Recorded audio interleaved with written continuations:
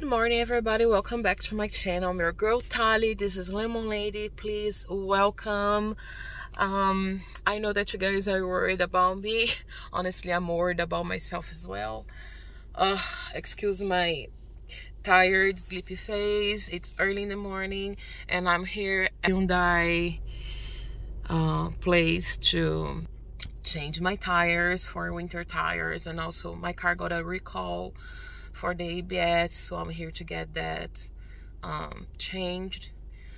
And anyways since I'm here waiting in line I thought I would stop for a minute to talk to you guys about basically uh, what's going on so far.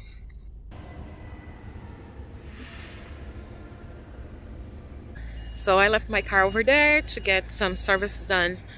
And by the way when I say my car it's not my car it's my employer's car. But anyways um, so I just wanted to basically talk a little bit more about what's going on with my health situation. Um, I told you guys in my last video that my doctors are divided in their opinions. So my surgeon believes that I am in metastasis and I need to do um, a surgery in the breast to remove the breast and then a surgery in the armpit at the same time to remove the lymph nodes and then also do another surgery in my abdomen so they can remove this part of the liver and the lymph nodes in my abdomen that he believes are also contaminated with the cancer cells. Um, and as for my oncologist they believe that I only need the um, the surgery in the breast and armpit and nothing related with the abdomen. So I just want to clarify why the team is divided in their opinions. Um, I didn't read all the comments yet. I didn't have the time yet, guys. I'm sorry about it, but I will read and respond to all of you as I always do in a bit. Um, but I, I saw kind of briefly that people were asking why has the diagnosis kind of changed now? What's going on? So in my previous exams, they had found these points in my bone, in my liver, and in my abdomen. Okay, so just to clarify better to you, uh, since that time, in all other exams that I've done, CT scans, MRIs, and all of that, they have still, uh, they're still seeing the lesion in my bone, in my vertebra. So I had a lesion in the L5 and the L8. Now they're not seeing anything else in the L8, so I can't even explain to you guys what exactly they were seeing because I don't even know, to be honest with you. But in the L5, it's nothing cancerogenous. Nobody's worried about it. Nobody's mentioning anything about it. I had a car accident a couple of years ago in 2014 and it was a very bad accident. I was on the highway and a car hit me from the back. Uh, the person lost his glasses for some reason, I don't know how, but the glasses fell on the floor and the person bent over like this to look for the glasses on the floor and while he did that he lost vision of the highway and he obviously didn't see me in front of him so he smacked my car uh, the car was totaled and during the impact my car seat broke.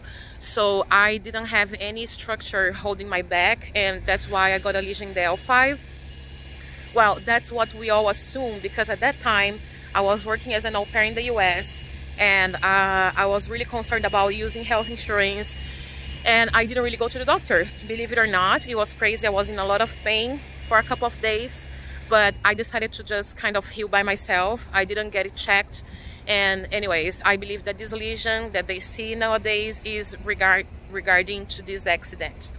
So right now nobody's talking about my my bones anymore. However when it comes to my liver and my abdomen there are lesions there are masses in both of them. So uh, that's why they were thinking about metastasis.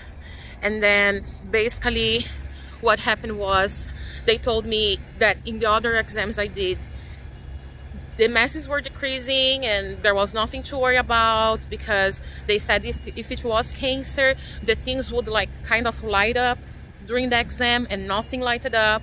So my oncologist told me that, you know, we ruled, we ruled out um, the possibility of you having metastases. Don't worry about it. And I thought, okay, that's great. So you guys saw me celebrating and I was happy about it. And I just pretty much stopped thinking and worrying about this, right? But sorry, I'm back, guys. Um, I got a ride, an Uber ride from the dealership back home. Now, continuing the story. Um, so my oncologist, they believe that what was seen before in my previous exams shows like, yeah, there is a lesion and in both um, liver and the lymph nodes. But according to the exams, because the things didn't light up uh, during the last exams, they don't think it's cancer. Uh, in fact, the note of the exam said that the lymph nodes in my abdomen are probably something like genetic, something that I probably just was born with. Like I just, I was just born with enlarged lymph nodes, a bit bigger than the normal. And as for the liver, it basically shows that, yeah, you have a mass in there, there is something going on, but it's not cancer. We don't know what it is, but our priority is to treat your cancer. We'll figure that out later on. It's nothing uh, too serious probably. So I'm bringing this up to you guys because I believe that I wasn't very clear in my last videos. Uh, I was very overwhelmed because just like most of you, I wasn't expecting to to to hear this at this point, especially because chemo is working and all of that. Uh, but the situation is that um, all the masses are decreasing with chemo, all the masses, including uh, the lymph nodes in my abdomen, they have decreased in size, and also the mass in my liver has decreased in size. So because of that, and because of that only, my surgeon is sure that all these masses are from the same invasive ductal carcinoma that I got in my breast primarily and then now it's just spreading and therefore because it's all the same type of cancer and i'm doing chemo and they're all decreasing that means that you know they're all basically from the same cancer family and it is a metastasis and blah blah blah. Now as for my oncologists they think that no um, i do have an issue in my liver but it's not cancer.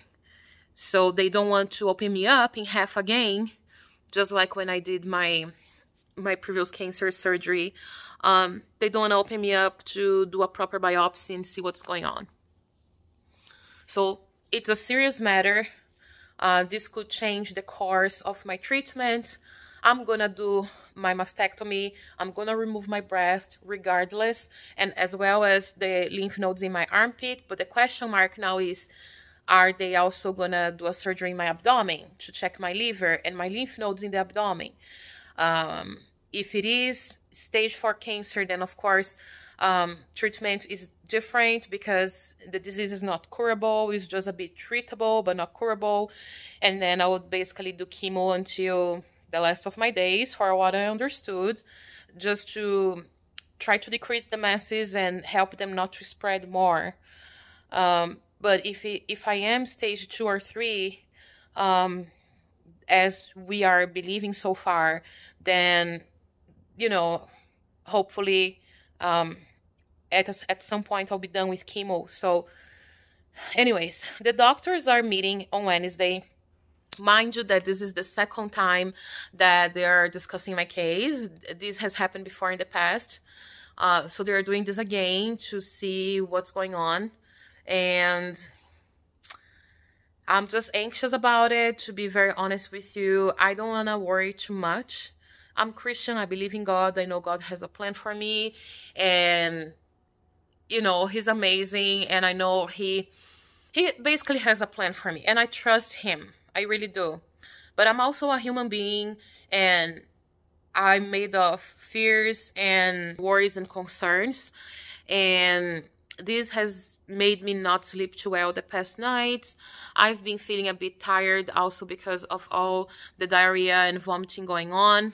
This weekend, um, by the way, a little parenthesis here. Uh, this weekend I started a new medication, which is magnesium.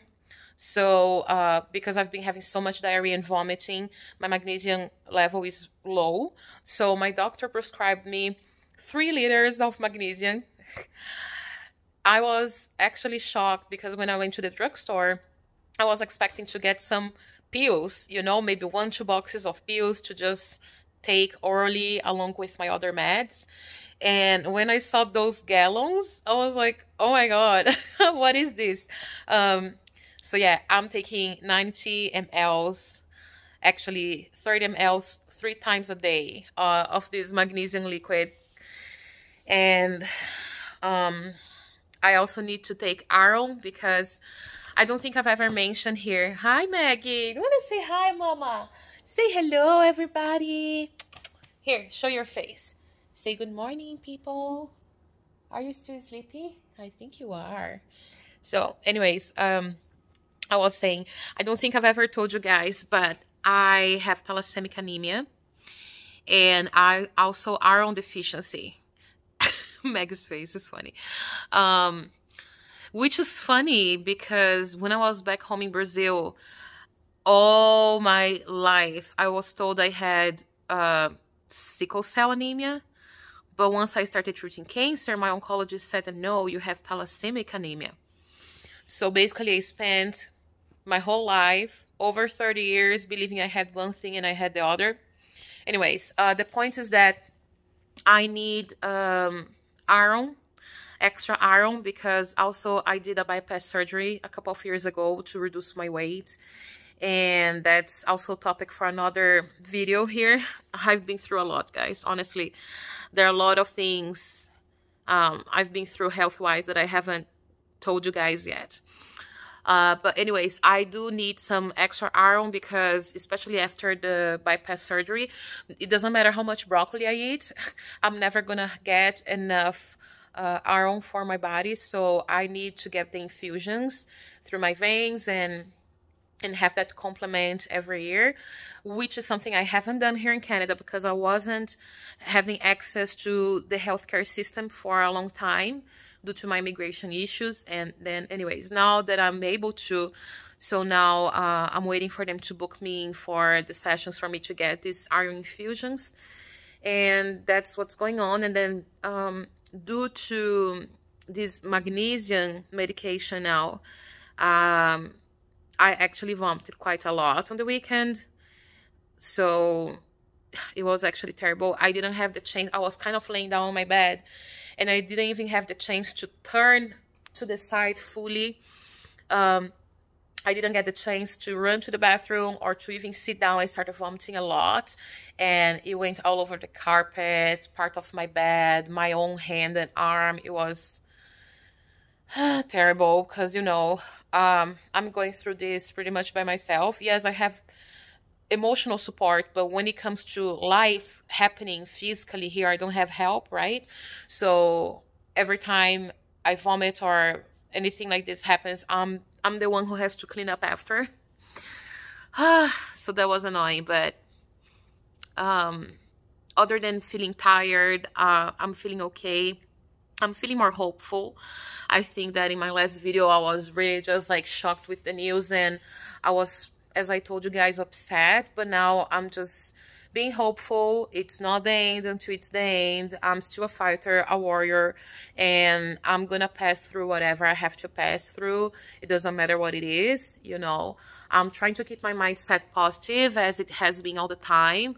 trying to keep my mind and my hands occupied doing stuff around the house and all of that so I don't have much free time to think bullshit as well and that's about it. I'm a bit anxious to see what's gonna happen after wednesday because again um, the doctors are meeting up on wednesday to discuss my case. So my oncologist said he's gonna give me a call um, after that meeting. I don't think it's gonna happen right right after. He said he would call me within probably a week.